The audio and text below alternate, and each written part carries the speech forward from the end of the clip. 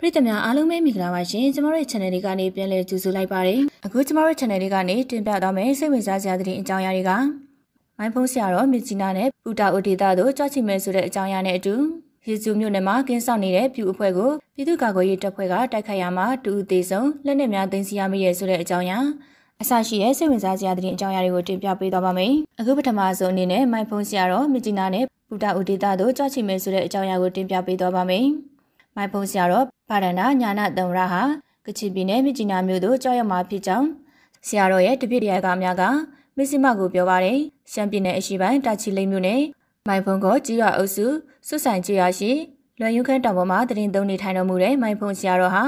ယခုနေ့တကူလာလာစံပိုင်းမှာကချင်ပြည်နယ်မြစ်ကြီးနားမြို့သို့ကြောက်ရွံ့မှာဖြစ်ကြောင်းသိရပါတယ် လက်ရှိအချိန်မှာမိုင်ဖုန်းဆရာတော်ကြောက်ရွံ့မဲ့နေကိုအတိအကျမသိရသေးပါဘူး။သို့တော်လည်းမိုင်ဖုန်းဆရာတော်ဟာမြကြီးနားမြို့မှာတရားဒေသနာတော်ကိုနေရခန့်ဟောကြားမှာဖြစ်ကြောင်းဆရာတော်ရဲ့တပိတကတူဦးကမစ္စည်းမကိုပြောပါတယ်။မိုင်ဖုန်းဆရာတော်ကအခုလာမဲ့တကူလာမှာကြောက်ရွံ့တော်မူမှာပါ။ဆရာတော်ရောက်မဲ့ရက်ကိုတော့အတိအကျမသိရသေးပါဘူး။ပင့်ထားတာတော့ကြားပါပြီ။ဆရာတော်ကပူတာအိုဘက်အထိကြွချီမလို့သိရတယ်လို့မိုင်ဖုန်းဆရာတော်ရဲ့တပိတကတူဦးကပြောပါတယ်။မိုင်ဖုန်းဆရာတော်ဟာမြကြီးနားမြို့မှာတဆင် မြန်မာပြည်မြောက်ပိုင်းပူရာအိုဒေတာသို့ဆက်လက်ကြွချီမှဖြစ်ကြောင်းသိရပါတယ်။လက်ရှိအချိန်မှာမကြခင်ကြောက်ရောက်လာမယ်မိုင်ဖို့ဆရာတော်အားကျူးကျူပူဇော်နိုင်ရန်မြကြီးနာဝိုင်းမောဗလမင်းထင်တရာအနည်းရှိမုတ်ခိုတောင်ဒေတာအခေါ်ရွှေမိုးတောင်စီဒီမှာလိုအပ်တဲ့ပြင်ဆင်မှုများကိုအခုမှလာအတွင်းကစတင်ဆောင်ရွက်နေကြပြီဖြစ်ပါတယ်။မိုင်ဖုန်းဆရာတော်ဟာမလ15ရက်နေ့ကရှမ်းပြည်ပြည်လဲထူထောင်ရေးကောင်စီရှမ်းပြည်တမတော် RCSN SSA ရဲ့ဌာနချုပ်ရှိရာလွိုင်တန်းလျင်သို့ကြွချီကတရားဟောခဲ့ကြောင်းလည်းသိရပါတယ်။ အခုဆက်လက်ပြီးတင်ပြသွားမယ့်အကြောင်းအရာကရေစီယိုမြို့နယ်မှာကင်းဆောင်နေတဲ့ပြူအဖွဲ့ကိုပြည်သူ့ကာကွယ်ရေးတပ်ဖွဲ့ကတိုက်ခိုက်ရမှာတူဦးတေဆုံလက်နက်များကိုသိမ်းဆည်းရမိတဲ့ဆိုတဲ့အကြောင်းအရာကိုတင်ပြပေးသွားပါမယ်။မကွေတိုင်းရေစီယိုမြို့နယ်ချင်းမြန်တိုင်ရင်ခလာရ156အနီးမှာကင်းဆောင်နေတဲ့ပြူစော်ရီအဖွဲ့ကိုဒီကနေ့မလ18ရက်နေ့နဲ့8နာရီ30မိနစ်ခန့်မှာပြည်သူ့ကာကွယ်ရေးတပ်ဖွဲ့ကပြစ်ခတ်တက်ခတ်ရမှာတူဦးတေဆုံခဲ့ပြီးလက်နက်များသိမ်းဆည်းရမိကြောင်းသိရပါဗျ။ကင်းဆောင်နေတဲ့ပြူစော်ရီတုံးကိုဝင်ရောက်ပြစ်ခတ်ခဲ့ခြင်းဖြစ်ပြီး ဒေဆုံသူမှာစစ်မှုထမ်းဟောင်းပြူကောင်းဆောင်ကြောက်ခဲစုသူဖြစ်ပါတယ်။ချန်ပီယံဦးမှာတော့တရားများနဲ့ထွက်ပြေးသွားတယ်လို့သိရပါတယ်။တေဆုံသူကင်ဆောင်တဲ့ကပိုင်တလဲကြီးပေါနှစ်ခုကြီးတရတတောင်ရှော့ကန်တလဲနဲ့ကြီးဆက်လေးတောင်ကတိတစ်ခုတို့ကိုလည်းသိသိရမိခဲ့ကြောင်းသိရပါတယ်။အဲဒီတက်ခိုင်မှုကိုရေစကြိုမျိုးနဲ့ပြည်သူ့ကာကွယ်ရေးတပ်ဖွဲ့ကပြုလုပ်ခဲ့ကြောင်းသတင်းထုတ်ပြန်ထားပါတယ်။အခုဆက်လက်ပြီးတင်ပြသွားမယ့်အကြောင်းအရာက ထိန်းချုပ်နေများအတွင်းမှာဖျက်တမ်းသွားလာခွင့်အတွက်ကြိုတင်အကြောင်းကြားရန်ပြည်တွင်းပင်ပအဖွဲ့များအား NUG ပြည်ထောင်ရေးကအတည်ပြုတဲ့ဆိုတဲ့အကြောင်းအရာကိုတင်ပြပေးသွားပါမယ်။အမျိုးသားညီညွတ်ရေးအစိုးရ NUG ထိန်းချုပ်နေမြေများအတွင်းမှာဖျက်တမ်းသွားလာခွင့်နဲ့လုပ်ငန်းများဆောင်ရွက်ခြင်းတို့အတွက်ကြိုတင်အကြောင်းကြားအသိပေးရန်ပြည်တွင်းပြည်ပအဖွဲ့များအား NUG ပြည်ထောင်ရေးနဲ့လူဝင်မှုကြီးကြပ်ရေးဝန်ကြီးဌာနကအမိန့်ကြေညာချက်ထုတ်ပြန်လိုက်ပါတယ်။ပြည်သူ့နေဦးတော်လှန်ရေးနှစ်နှစ်ပြင်လာတဲ့အချိန်မှာပြည်သူ့ဦးဆောင်မှုတော်လှန်ရေးအင်အားစုများရဲ့တိုက်ပွဲဝင်မှုတို့ရဲ့အတိအပွင့်အဖြစ် အမျိုးသားညီညွတ်ရေးအစိုးရဟာဇိုမိုထိန်းချုပ်နေမြေများရရှိလာခဲ့ပြီဖြစ်ကြောင်းအသိပေးထားပါတယ်။ဖက်မှလည်းအာဏာသိမ်းစစ်တပ်ရဲ့လူမဆန်စွာရက်စက်ကြမ်းကြုတ်မှုမိရှုတပ်ဖြတ်မှုများကြောင့်ပြည်သူလူထုရဲ့အသက်အိုးအိမ်စီစဉ်များဆုံးရှုံးနေတာနေရသည်မှာကဘာအတိဖြစ်ကြောင်းအဲ့အတွက်မြန်မာပြည်သူများအနေနဲ့လူသားချင်းစာနာမှုအကူအညီများများစွာလိုအပ်လျက်ရှိကြောင်းအသိပေးထားပါတယ်။အမှန်စစ်စစ်အကူအညီလိုအပ်နေတဲ့ပြည်သူလူထုထံသို့လူသားချင်းစာနာကူညီပေးမှုများထိထိရောက်ရောက်ပံ့ပိုးနိုင်ရန်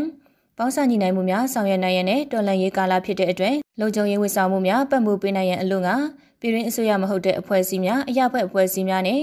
နိုင်ငံတကာအစိုးရမဟုတ်သောအဖွဲ့အစည်းများအနေနဲ့ NUG ထိန်းချုပ်နေများအတွင်မှာစစ်တမ်းကောက်ယူခြင်းဖြတ်တန်းသွားလာခြင်းနဲ့စီမံကိန်းလုပ်ငန်းများဆောင်ရွက်ခြင်းတို့အတွက်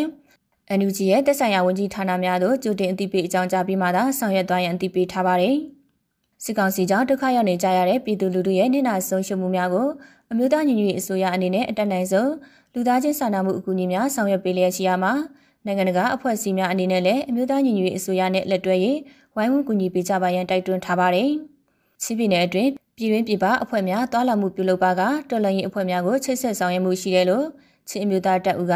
CNA ပြောရေးဆိုခွင့်ရှိသူစလိုင်းထန်နီကပြောပါတယ်။အဲ့ဒါမျိုးတွေကအတိုက်နိုင်ဆုံးကျွန်တော်တို့ကိုချိတ်ဆက်တဟာမျိုးရှိရင်တော့အကြောင်းကြားတာတွေရှိပါတယ်။ကျွန်တော်တို့ဒီတဲကိုဝင်လာပြီးသူတို့ကကြိုတင်ပြီး အကြောင်းကြားတာမျိုးကိုဒီနေ့တော့ရှိပါတယ်လို့ပြောပါတယ်။ချင်းမျိုးသားတပ်ဦး CNF CNA ပြောရေးဆိုခွင့်ရှိသူကဆက်လက်၍ NUG နဲ့ချိတ်ဆက်မှုအလုံးလုပ်နေတဲ့အတူတူတိုက်ပွဲဝင်နေတဲ့အဖွဲ့အစည်းထက်မှအဲ့လိုအကြောင်းကြားတာတို့ဘာလို့ဆိုရင်အဲ့ဒါကဖြစ်တဲ့အနေထားလို့မြင်ပါတယ်လို့ပြောပါတယ်။စကိုင်းမကွေးဘကိုတနင်္လာရီစတဲ့ဒေသများမှာအမျိုးသားညီညွတ်ရေးအစိုးရရဲ့စိုးမိုးထိန်းချုပ်နယ်မြေများရှိလာပြီးဂျာကာလာအုပ်ချုပ်ရေးစနစ်ကိုအကောင့်ထဲဖော်နေကြောင်းသိရပါတယ်။အခုတင်ပြသွားမယ့်အကြောင်းအရာက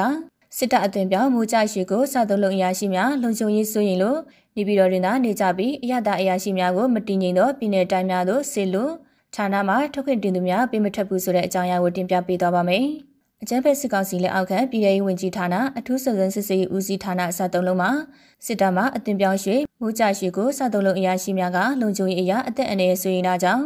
နေပြီးတော့စသုံးလုံးရုံချုပ်တင်သာရုံထိုင်ကြပြီးပြည်내တိုင်းများသို့အထူးသဖြင့်မတည်ငြိမ်သောဒေသများသို့ပြောင်းရွှေ့မှုလုံးဝမရှိတော့ကြောင်းသိရပါတယ်။ခေဆက်ဆက်စသုံးလုံးထိပ်ပိုင်းအရာရှိယာရုများကိုစစ်တပ်ဘက်မှပြောင်းရွှေ့လာသောမူကြရွှေကိုအသွင်ပြောင်းစစ်အရာရှိများကိုသာပေးလေးရှိတော့လေ။ NLD အစိုးရလက်ထက်မှာတော့အယက်သားစသုံးလက်ဝန်ထမ်းများကိုညွှန်ကြားရေးမှုယာရုအထိတိုးမြင့်ပေးခဲ့ကြောင်း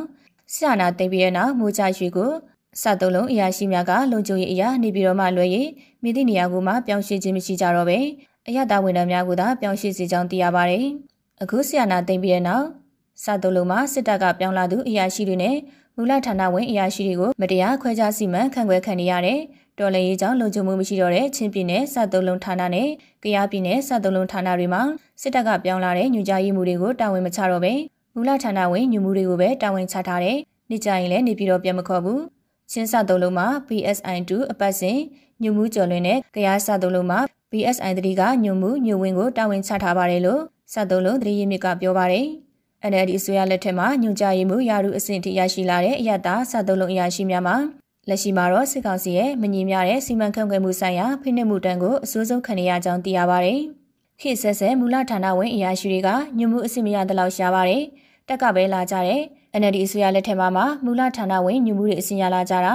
စီရေးအခြေအနေကြောင့်မလုံမကြုံဖြစ်နေတဲ့ချင်းကြရာတွေမှာတက်ကလာတဲ့ညွမှုတွေကမနေရဲလို့အရသာညွမှုတွေကိုပဲအနိုင်ကျပြီးတာဝန်ချတဲ့ချင်းမှတာဝန်ချတဲ့ညွမှုကျော်လင်ကမနေ့ကမလ29ရက်နေ့မှာနေပြောင်းရတဲ့ ကားနဲ့သွားမရလို့ကလေးကနေဟာခါကိုရဟရင်နဲ့လမ်းကျုံသွားရတာရဟရင်ပြက်ကြတာနဲ့ကြုံခဲ့ပါတယ်ခြေထောက်တန်ရပေမဲ့မတီးခဲ့ဘူးစာသုံးလုံးဌာနကတကက်ကိုတအသွင်ပြောင်းနေချုပ်ကင်ထားတဲ့လက်ကင်တို့ဌာနလိုဖြစ်လာတယ်လို့စာသုံးလုံးသတင်းရင်းမြစ်ကပြောပါတယ်လက်ရှိစာသုံးလုံးဌာနမှာမိုးချရွှေကိုစစ်တပ်အသွင်ပြောင်းများကသွေးခဲစီမံခန့်ခွဲအုပ်ချုပ်ခြင်းအုပ်စုပွဲတိုက်ခိုက်ကြခြင်းကြီးနိုင်ငံကြီးလူငယ်များအပေါ်မှာဖိနှိပ်ခြင်း CDM မလုပ်ပဲအေဂျင့်စွာထွက်ခွင့်တောင်းတော့လဲထွက်ခွင့်မပေးခြင်းများကြုံနေရကြောင်းသိရပါတယ်။ အခုနောက်ဆုံးတင်ပြသွားမယ့်အကြောင်းအရာကထီလင်းတို့ဝင်ရောက်လာတဲ့အကြမ်းဖက်စစ်ကြောင်းများကိုအကြိမ်ကြိမ်တိုက်ခိုက်မှုမှာစစ်သား40ကျော်သေဆုံးနေဆိုတဲ့အကြောင်းအရာကိုတင်ပြပေးသွားပါမယ်။မကွေးတိုင်းပခုတ်ကူမြို့မှာရောဒေတာနဲ့ချင်းပြည်နယ်ဘက်သို့ဦးတည်လာတဲ့အကြမ်းဖက်စစ်ကြောင်းများကိုထီလင်းမြို့နယ်အတွင်းကမိုင်းဆွဲတိုက်ခိုက်ခဲ့ရမှာစစ်သား40ကျော်သေဆုံးခဲ့ကြောင်း YRA ထီလင်းရဲ့တာဝန်ရှိသူတူကရန်ကုန်ခေတ်သစ်သတင်းဌာနထံသို့ပြောဆိုပါရယ်။မလ15ရက်နေ့နနက်9:15မိနစ်ခန့်အချိန်မှာထီလင်းမြို့သို့ရောက်ရှိလာတဲ့ အကြံဖဲစစ်ကား35စီးနဲ့စစ်သားများဟာနေ့လယ်12နာရီခန့်မှာထီလင်းကန်ကောလမ်းပိုင်းသို့ထွက်ခွာရန်နနက်ပိုင်းကလေးကလမ်းလုံခြုံရေးယူပေးရန်ကြိုထွက်လာတဲ့အကြံဖဲစစ်သား55ဦးပါရှစ်ကျူပိုက်ကိုထီလင်းပုံနာကြီးကြားမှာမိုင်းဆွဲတကယ်ခရမှာနှစ်ဦးပွဲချင်းပြီးတေဆုံးပြီးအများအပြားထိခိုက်ဒဏ်ရာရရှိခဲ့ကြောင်းသိရပါတယ်။ အဲ့ဒီမိုင်းဆွဲတက်ခိုက်မှုကြောင့်တေဆုံးထိခိုက်ဒဏ်ရာရတဲ့စစ်သားများကိုထီလင်းမျိုးထွေအုပ်ရုံမှာလက်ထက်ကားနှစ်စီးနဲ့လာရောက်တေဆောင်သွားကြောင်းအဆိုပါတိုက်ခိုက်မှုကိုကန့်ကောခရိုင်တိုင်ရင်15တိုင်ရင်16တိုင်ရင်19ထီလင်းနဲ့ကန့်ကောခရိုင်တိုင်ရင်16တို့ကပူးပေါင်းတိုက်ခိုက်ခဲ့ခြင်းဖြစ်ကြောင်းသိရပါတယ်။